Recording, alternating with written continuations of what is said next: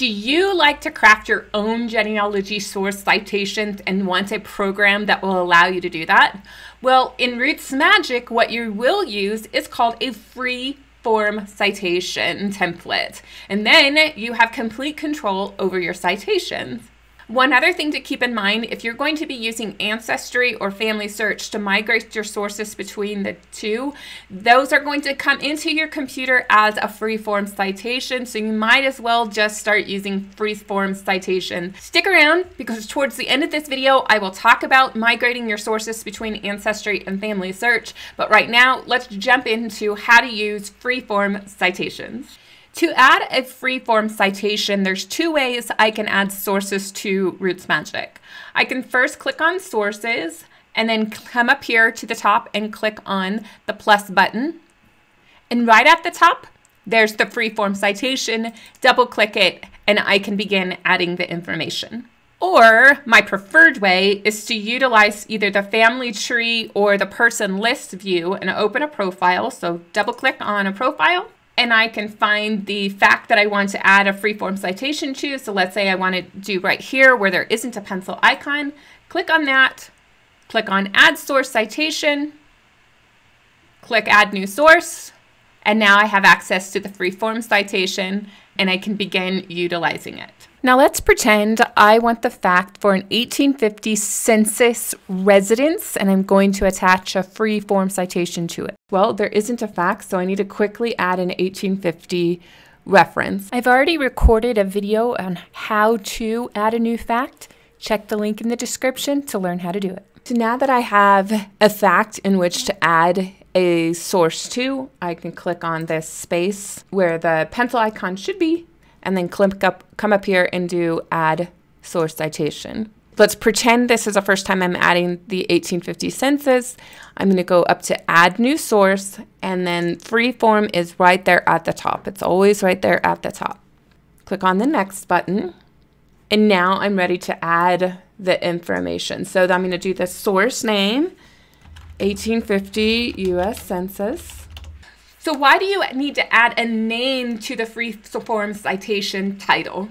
Well, you will only be using this once. So you may have hundreds of 1850 census citations, but because you're using free form citations rather than citation templates, then you need to have it say 1850 census and the person that you're referencing. So I'm going to add the name for the source, William Peak. If I have multiple Williams Peaks, it might be a good idea to include his lifespan. So now we're ready to insert the citation into the footnote. So click on footnote. I need to add the source citation. Now there's a couple of ways I can do this. First of all, I can leverage the citation that some websites provide. And in this case, FamilySearch has that citation. So I can just do a direct copy and paste and it will go straight into my program. Now I might want to clean this up a little bit. Let's say you copied and pasted and the date of the search wasn't the date you searched the record. So let's say it was February 2022, you can go ahead and add that in. So for more accurate citation, we want to have the publication information from the NARA film. So you may know the roll number and the film number. So I can go ahead and paste in that publication and roll number. And then I can click OK. And now I have this free form citation.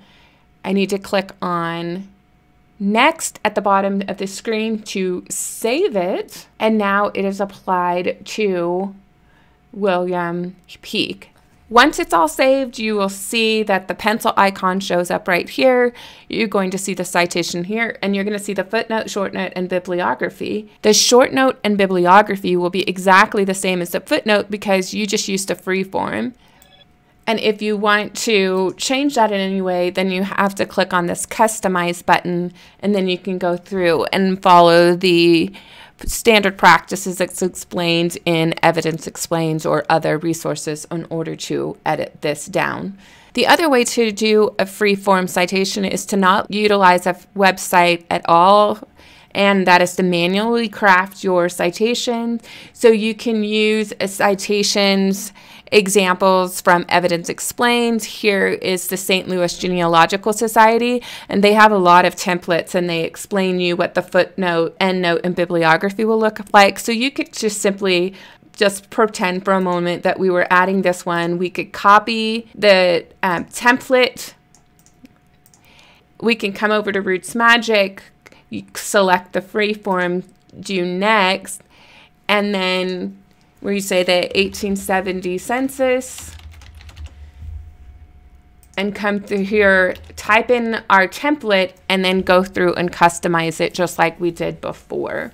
What's really great about this view is if you wanted to italicize anything, you perhaps you want to italicize the title of the collection. Perhaps you want to bold something like you really want this to stand out that it where it's from, you can do all of that and click save. Click that check mark every time you're doing something, and then when you're finished, click next, and then click OK. And now you have this citation for whichever event that you are trying to add a citation to. Thanks for sticking around this far. Now it's time to talk about how to transfer our sources between Ancestry and FamilySearch using RootsMagic in the freeform citations. Now, if you want to upload your source citation to FamilySearch, then click on this pop-up, click on FamilySearch, and you will see this side-by-side -side comparison tool, RootsMagic on the left, FamilySearch on the right. Now go to the Sources tab right here. Find the source you want to transfer. In this case, I'm going to use the city directory one. I haven't uploaded that. We're going to add, tag this to the facts that was covered in that source. So we have a name and it actually applies to a residence, but I don't have anything else. So I'm just going to put the name and click OK. Now, we're using FamilySearch. So FamilySearch wants us to provide a reason that we're going to attach this record. Say something that will remind others why you're using this. So this is the start of my citation thing statement. I'm going to go ahead and complete it. So something as simple as he's listed in the city directory as a farmer, at an address, as a business owner. Whatever was in that record, go ahead and capture it and then click attach. And now that source citation will show up uploaded to FamilySearch. Now, uploading your sources to Ancestry is a little bit different. When you initially download your Ancestry tree from Ancestry to RootsMagic, Things are a little messy. Let me show you what that looks like. Here are my sources that I've downloaded from Ancestry using the Tree Sync feature. You're going to see that uh, if I customize the citation, it is using the free forms, but it's lacking a citation name. And that's something we can talk about in a future cleaning up your citations that you import from Ancestry. If you want me to cover that, make sure you let me know in the comments. That's how I will know that there's enough interest in that. However, let's talk about transferring sources between Ancestry and RootsMagic after you do the initial syncing of your trees. So in Ancestry, we're going to go ahead and click on the tree sync. It's going to process the changes. If you have a big tree, it's going to take a while. This is a little tree because it's a project tree. I'm going to scroll down to James. You can see that the red pencil icon means that I have an, added a new source to RootsMagic that isn't on Ancestry. So I'm going to click on the arrow next to birth, update existing event in Ancestry, and now I can click on this source right here, the new update, and click OK. And then down here, there is a prompt that says accept changes, and then it will be applied to Ancestry. And then it works in reverse. So let's say I have a new source on Ancestry that isn't in RootsMagic. I'm going to click this button, click Update Existing RootsMagic, click on sources and click OK.